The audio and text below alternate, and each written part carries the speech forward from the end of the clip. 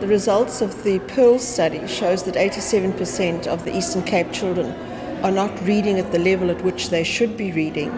And the second thing is, is that we've picked up in the Eastern Cape that our grade 1, grade 2 and grade 3 pass rates are very low and that we need to improve our pass rates and our reading. Thina kaloku singaba bantu basoloko kukhalazwa nge-eastern cape uba singabantu abanemfundo enomgangatho osezantsi. Part of the strategy was to make sure that we had more teachers for the foundation phase and that we had readers in our classroom. ndiyaqiniseka ngoku into okokubana ukuba olu lwazi lungafikelela kubo bonke ootishala qinisekile into yobana zizawuphucuka izifundo zethu. Yile nto ibangele into yoba ndivuseleleke ndenze umbono ufunda wani kwanza kwaqala ukulunga yafika ingangalala wafika ufunda wande. Ufunda wande ndingathi yinqwelo yokundenza ndibheke phambili.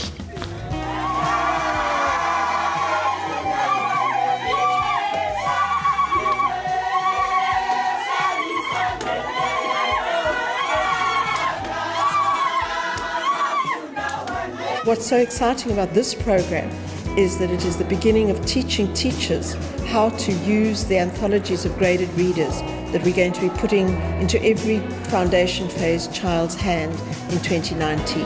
akho nto indenze umdla njengothi xa ndigala mina okokuqala ndifika ndibeke ezincwadi ke kwafika abantu bahlala etafileni yu bathi oh, uvulabhula kudala simfuna. Sathi ke ngoku xa siyityhila inesigama futhi ithetha ngezima phambili ngoku sebeyazi iindlela ezahlukileyo neendlela ezinikisa umdla okunozisebenzisa ngayo ezancwadi zethu.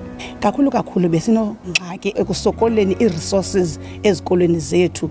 Namhlanje loo nto yimbali. Even nasemakhayeni the only resource emakhayeni ekhoyo yibhayibhile. What we needed to do was to put out many more readers, and so we've taken 66 Kosa stories and we've put them into three books. learners all get this book to take home to be able to read and share with their parents because that's also going to encourage comprehension. so umntana ngoku une-access yowafunda one by one bewa-enjoya kakhulu These readers are fabulous.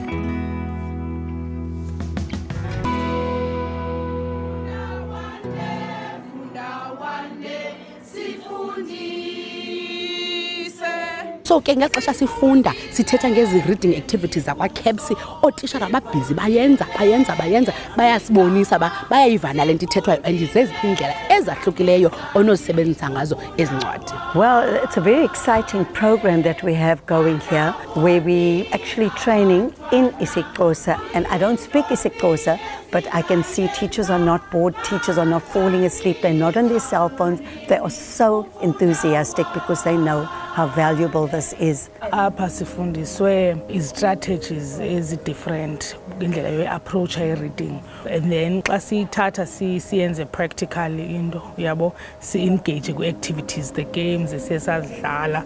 Ibizii-highlights kum oh, yonke ke le nto besiyenza ke thina ibimnandi ukufa. Abantu bebefuna mani ukufunda befuna ufakelela le nto sizanayo apha kule nto bayaziyo. This workshop iadrese kakhulu i-practical part yale nto bayithethayo itheory apha kwiivideos zabo uyabona ke umahluko kule itraining siyababonisa asithethi nje sifunde okoko le nto injani le nto eklasini? Nakubukela ividiyo jonga abantwana benza ntoni eklasini? So bayayibona ke ngoku right at that moment uba yinto ebonakala njani usebenzisa zixhobo zinjani and futhi ke bahamba nazo ezi videos. And uninzi lwabo ke bebezibukela ezi videos. Na after i-workshop yayiba